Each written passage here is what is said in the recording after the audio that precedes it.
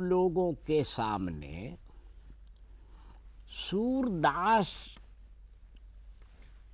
के काव्य की पुस्तक सूर सागर के भ्रमर गीत से दो पद रखूँगा और उनके अर्थ और उनकी विशेषताओं की चर्चा करूँगा।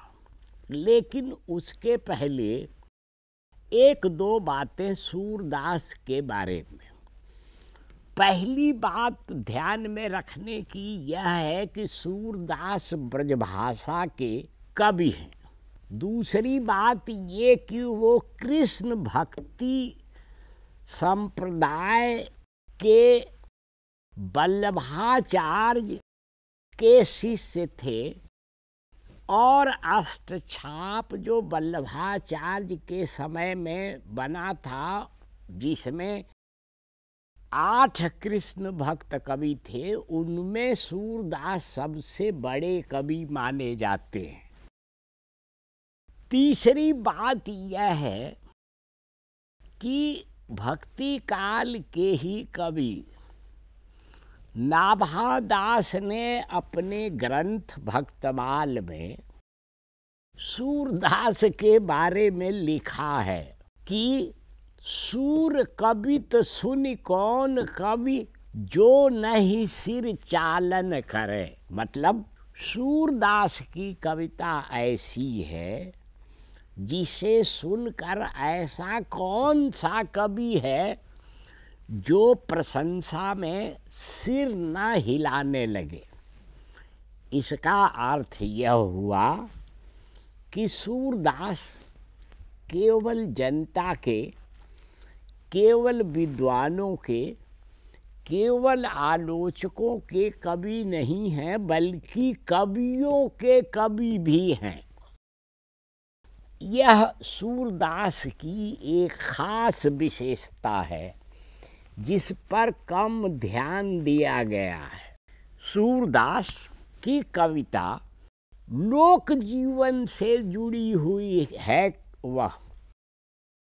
उसी का प्रमाण और परिणाम यह है कि सूर की कविता में लोक जीवन में प्रचलित और उपस्थित तत्व बार बार आते हैं, पशु पक्षी आते हैं जीव जंतु आते हैं, वास्तविक स्थितियाँ आती हैं और उनके माध्यम से सूरदास गोपियों की भावना व्यक्त करते हैं।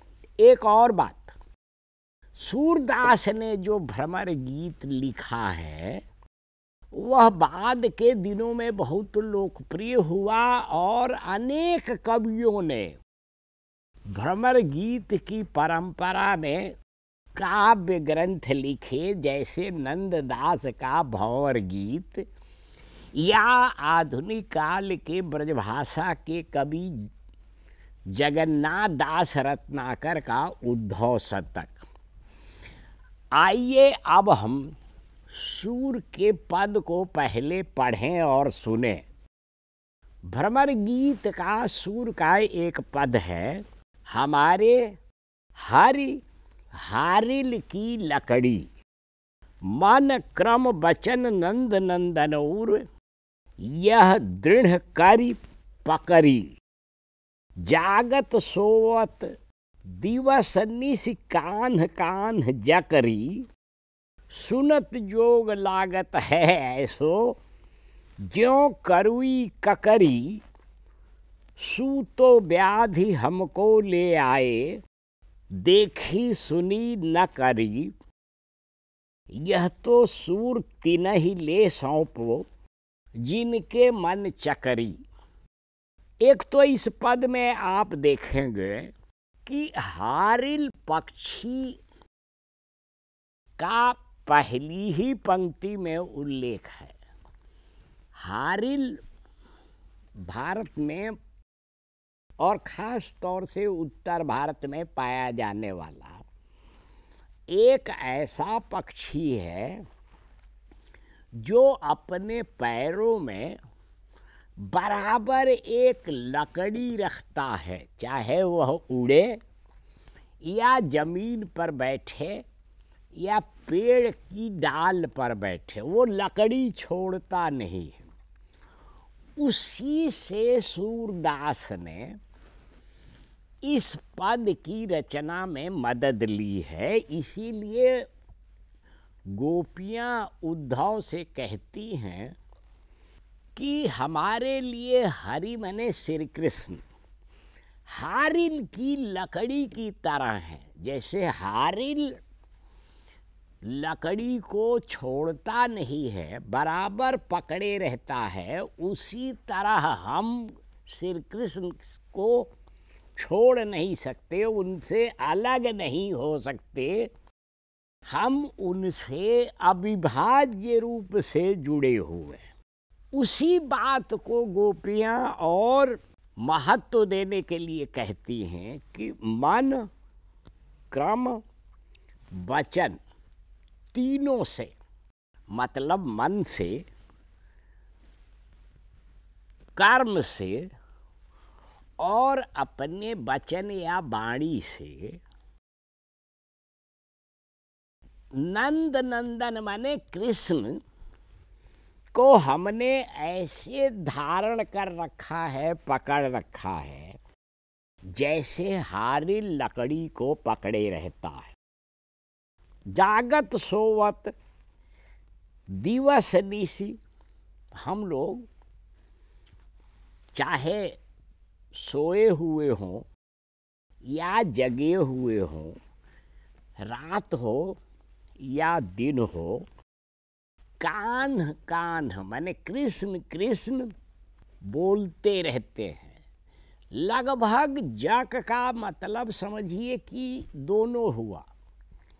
जपते रहते भी हैं और बोलते रहते हैं। ये जक शब्द जो है, कोई बहुत अच्छे अर्थ में नहीं लगता, लिया जाता, पर गोपियाँ लगभग पागल के बारे में ये कहा जाता है कि वो कुछ भी बकता रहता है। उसी तरह गोपियाँ कह रही हैं कि हम होश में, बेहोश में, सोने में, जागने में, दिन में, रात में, कृष्ण कृष्ण कहते रहते। गोपियों को उद्धव ने योग का संदेश दिया था कि कृष्ण को भूल जाओ और योग की साधना करो तो तुम्हारा दुख दूर होगा। तो गोपियाँ उत्तर में कहती हैं कि सुनत योग लागत है ऐसो, ज्यो करुई ककरी। एक ककड़ी होती है, आप सब लोग ज़रूर जानते होंगे, लोग उसको खाते हैं काट के। कुछ लोग तो बिना काटे ही वैसे ही खा जाते, चबा जाते हैं। पर ककरी की और खीरा की विशेषता ये है कि वह मीठा भी होता है, बहुत नहीं, पर थोड़ा। और बस कुछ ककड़ी, कड़वी भी होती है। तो गोपियाँ कह रही हैं कि हमें योग का संदेश ऐसे ही लग रहा है जैसे कड़वी, तीती ककड़ी खा लिया हो मैं, हमने। मैंने जिससे मुँह का स्वाद तो बिगड़ा ही, मन का भाव भी बिगड़ गया है। सूतो ब्याध हमको ले आए, देखी सुनी न करी। आप हमारे लिए ऐसी बीमारी ले आए हैं, जो न कभी देखा है न कभी सुना है और न कभी किया है। मतलब यह जो आप योग की, का उपदेश दे रहे हैं, वो हमारे लिए बीमारी की तरह है, जिसको हम जानते भी नहीं हैं।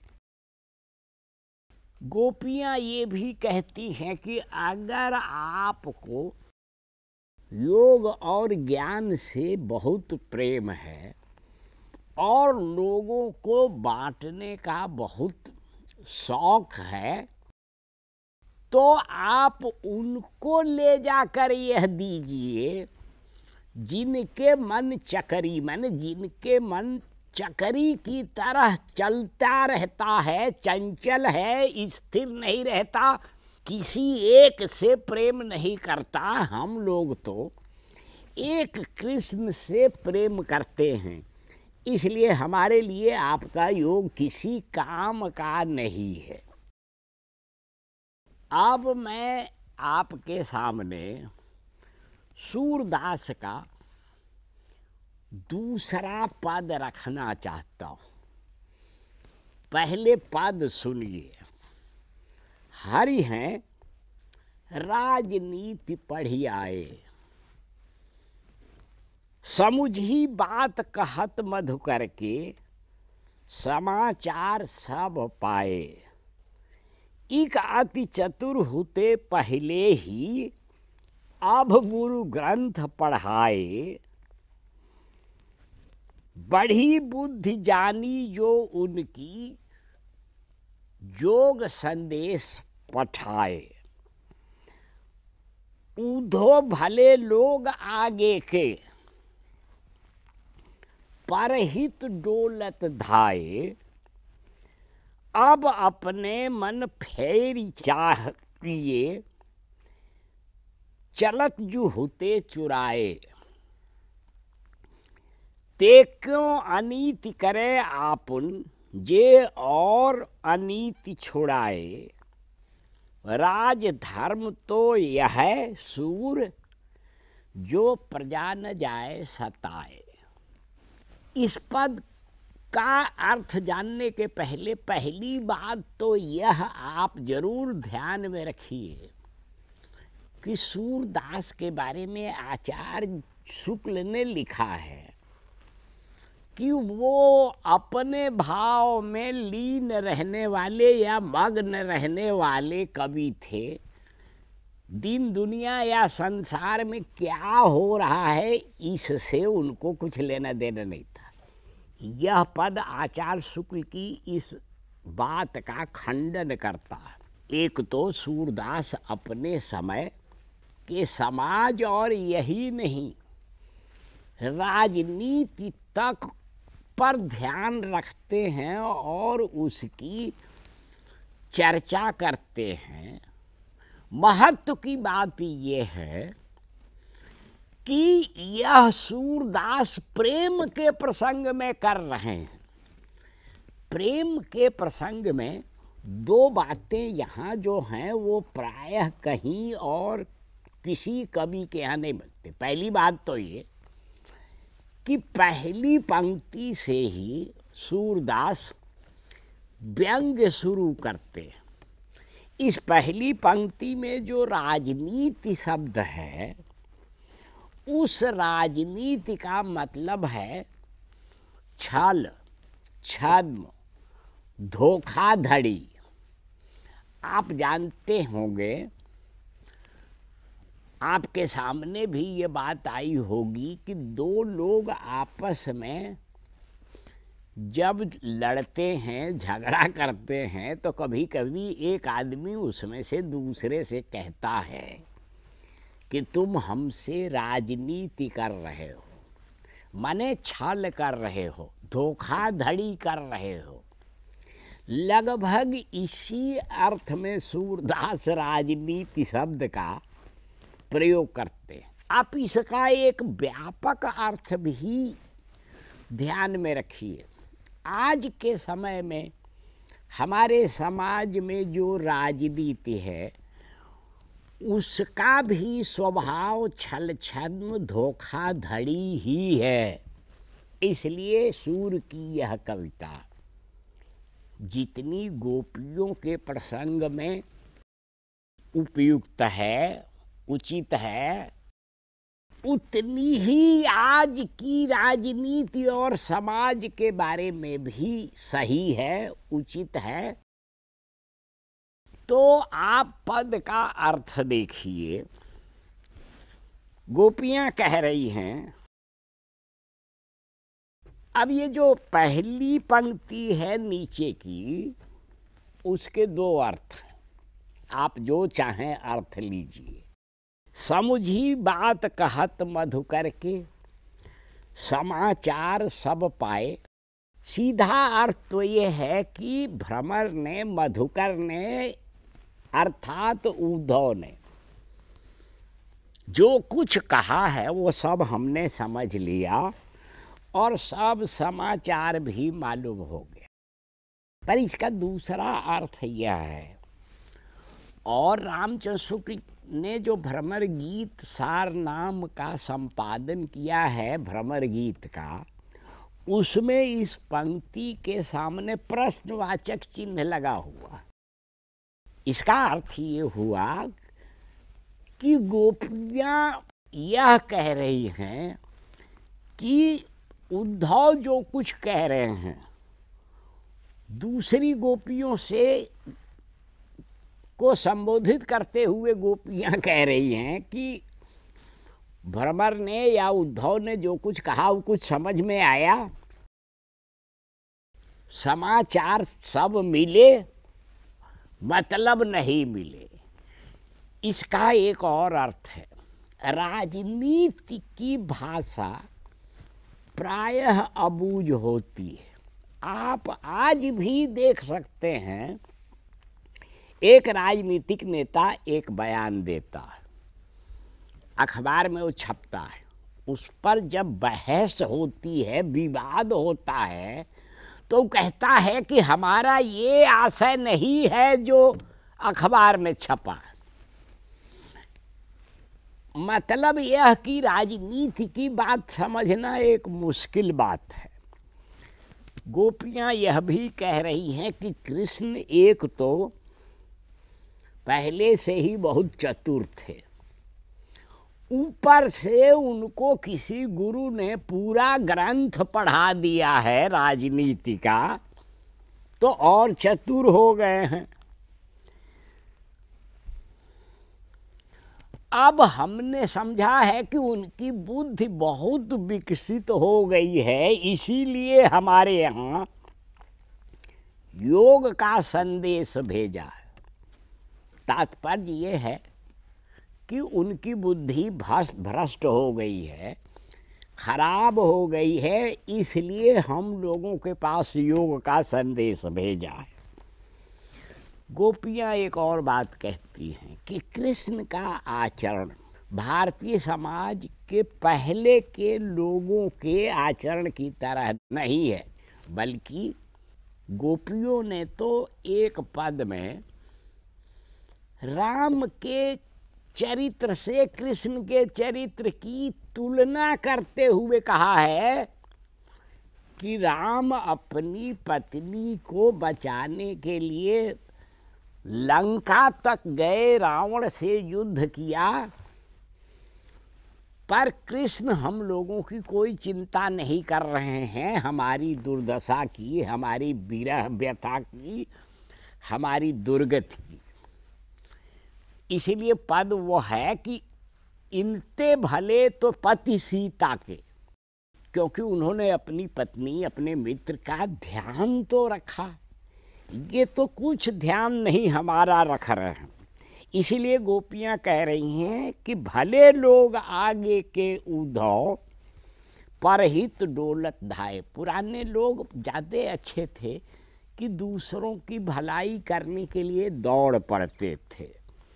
गोपियाँ कृष्ण पर यह भी व्यंग कर रही हैं कि जो कृष्ण हम लोगों के मन को चुरा ले गए, वे कृष्ण अपने मन को हमसे छीनना चाहते हैं, क्योंकि हमने भी उनसे प्रेम किया तो प्रेम बुनियादी तौर पर दो मनों का मिलन है। दो मनों की एकता है, दो हृदयों की, दिमागों की एकता है।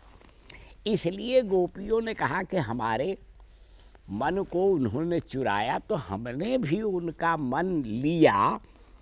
अब बदले में कृष्ण हमारा मन जो है अपना मन हमसे लौटाना चाहते हैं, जो हमारे साथ अन्याय है जाती है। गोपियाँ ये भी कह रही हैं कि ते क्यों अनीति करे आपन? जे और अनीति छोड़ाए, जिन्होंने दूसरों को अनीति करने से रोका अनीति करने की आदत छोड़ाई वे कृष्ण। स्वयं क्यों अनीति कर रहे हैं और हम लोगों को कष्ट दे रहे हैं, हम लोगों से अलग। अब इसमें जो आखिरी पंक्ति है, वो राजनीति की दृष्टि से और अधिक महत्वपूर्ण है कि राजधर्म तो यह है। राजधर्म तो यही है कि प्रजा को, जनता को सताया न जाए। पर यहाँ तो स्थिति ही एकदम भिन्न है। स्वयं राजा ही जनता को सता रहा है। इसलिए ये राजधर्म नहीं है, बल्कि राजधर्म का उल्लंघन है इसलिए गोपियाँ इस पूरे पद में उद्धव से ज़्यादा कृष्ण पर व्यंग करती हैं, उनके व्यवहार पर, उनके आचरण पर, उनके, उनकी बुद्धि पर। और इस तरह गोपियाँ अपना दुख, अपनी खींच और अपनी व्यथा व्यक्त करती हैं इस पद के माध्यम से।